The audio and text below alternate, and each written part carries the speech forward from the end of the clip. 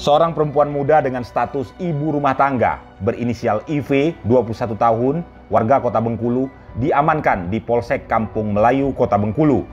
IV ditangkap polisi bersama teman prianya, inisial AD, 20 tahun, warga Lingkar Timur, Kota Bengkulu, usai melakukan tindakan pengeroyokan di warung tuak pada Sabtu dini hari. Seperti apa kronologi kejadiannya? IV yang merupakan IRT dan rekannya AD diamankan pihak kepolisian pada minggu malam. Kasih Humas Polres Bengkulu AKP Sugiharto mengatakan kejadian ini bermula saat terduga pelaku IV dan korban, seorang pria berinisial PP 23 tahun, duduk nongkrong di warung tua di Jalan Citandui, Kelurahan Muara II, Kota Bengkulu. Saat mereka sedang minum tua, terjadilah cekcok mulut.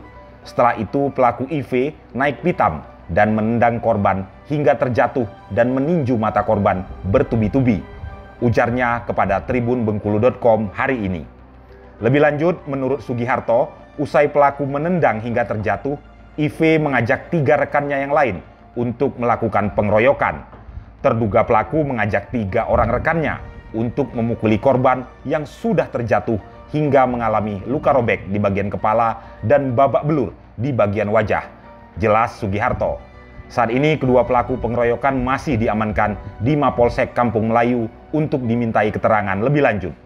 Akibat perbuatannya kedua pelaku disangkakan terjerat pasal 170 KUHP Jungto pasal 351 KUHP dengan ancaman di atas 5 tahun penjara.